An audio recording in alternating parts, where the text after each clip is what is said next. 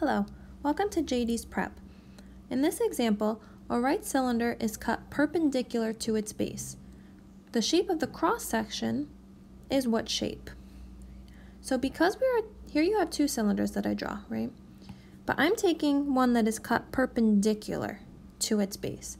So if I take this first shape, here's my base on the bottom.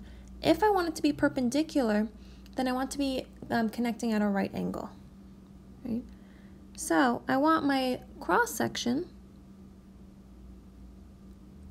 to cut perpendicular to the base, like that. Okay. And if it's cutting perpendicular to the base, what you'll notice is that it forms a rectangle as your cross section. Versus if you were to cut it parallel to the base, okay? So let's say if the question asks, the right cylinder is cut parallel to the base.